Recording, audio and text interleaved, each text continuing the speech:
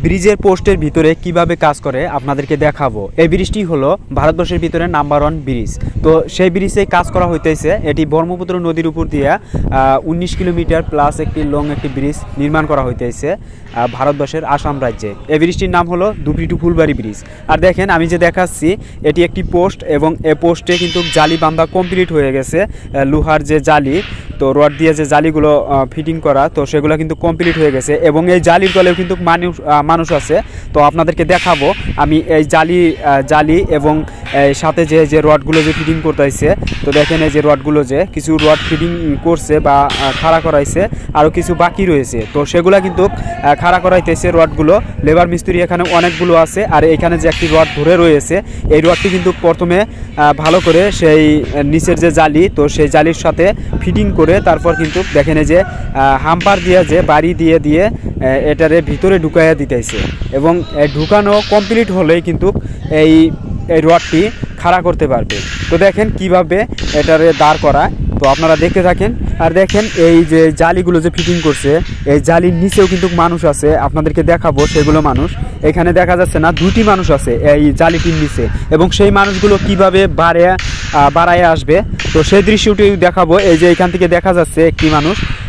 জালির জন্য কিন্তু দেখা যাচ্ছে না। এখানে দুই পাল্লা করে জালি দিছে বা এখানে করে দুই পাল্লা করে এই রডগুলো বিছাইছে, তার নিচে কিন্তু মানুষ রয়েছে। তো সেগুলো মানুষ কীভাবে রয়েছে এবং কতক্ষণ পর্যন্ত এই কাজগুলো চলে থাকবে? তো সবিশেষ আপনারা এই ভিডিওতেই দেখতে পারবেন। তো দেখেন, এদিকে একটি রড দাঁড় করাইছে এবং তার সাথে গুণাগুলো লাগাইয়া দিতেছে। আর এদিকে দেখেন আরেকটি রড আনতেছে এবং এখানকার রডটিও কিন্তু দাঁড় করাইবে। এখানে মানে অতি জলদি কাজগুলো করতেছে। এই, এখানে পানি অনেক এসে যাবে। ব্রহ্মপুত্র নদীর পানি কিন্তু অনেক বেড়ে গেছে, তার জন্যই কাজগুলো করতেছে। এবং দেখেন এই যে, এই পোস্টটি যে, এই সিমেন্ট দিয়ে যে ঘেরাও করা আছে, দেখেন এইদিকে কিন্তু, তাও কিন্তু বাহির থেকে পানি চুইয়া চুইয়া এই যে পোস্টের ভিতরে কিন্তু চলে আসতেছে। তো দেখেন, এদিকে তিন দিকে কিন্তু এখানে ফুটো হয়ে গেছে। লাহে লাহে পানি কিন্তু ঝর্ণা ছুটে তারপর কিন্তু এই পোস্টের মাঝখানে ঢুকতেছে পানিগুলো।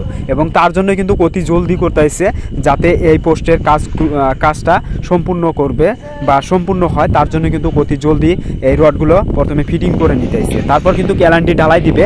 এলানটি ঢালাই দিলেই কিন্তু এই পোস্টের কাজ কমপ্লিট হয়ে যাবে। মানে উপরকার যেগুলো কাজ, তো সেগুলো কাজই খালি বাকি থাকবে। এই দেখেন এই একটি রড দেখেন, ঢুকাইতেছে, এই যে জালির মধ্যে দিয়ে।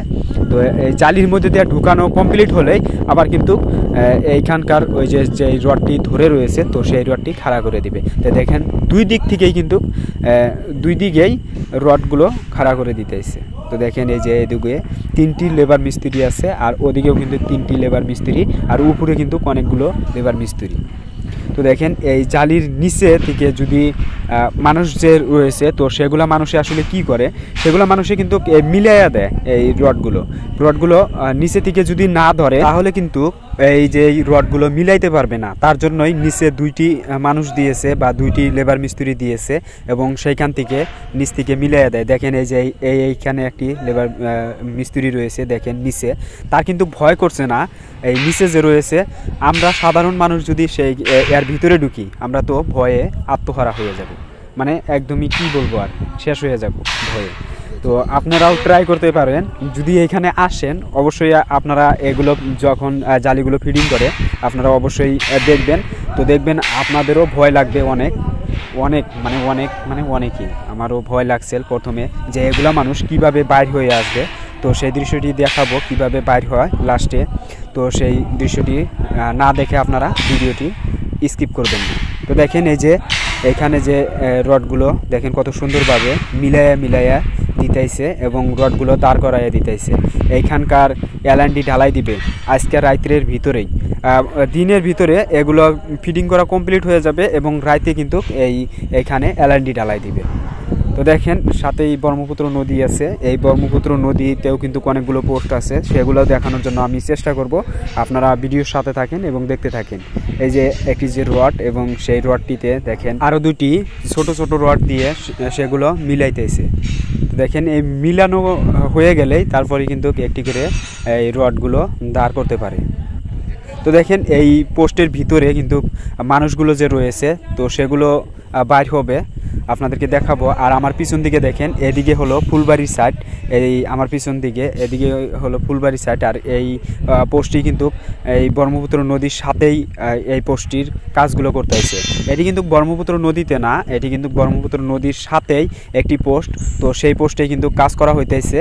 আর এই পোস্টের দেখেন ভিতরে দুইটি না, এখানে চারটি লেবার মিস্ত্রি ঢুকে রয়েছে এই পোস্টের বা এই জালিগুলোর নিচে। তো সেই লেবার মিস্ত্রিগুলো বাইর হবে এই জালিগুলো যে কোনো আহ, কাটা আছে। মানে একজন করে যে লেবার মিস্ত্রি বাইর হতে পারবে তো সেই সেইটুকু জায়গা খালি রাখছে। তো সেই জায়গাটা কিন্তু বাইর হবে। আর এদিকে দেখেন কত সুন্দর দেখা যাচ্ছে। এটি কিন্তু অনেক হাইট করছে। মাটি এইখান দিয়ে চতুর্পাশে এই পোস্টের চতুর্পাশে মাটি দিয়ে কিন্তু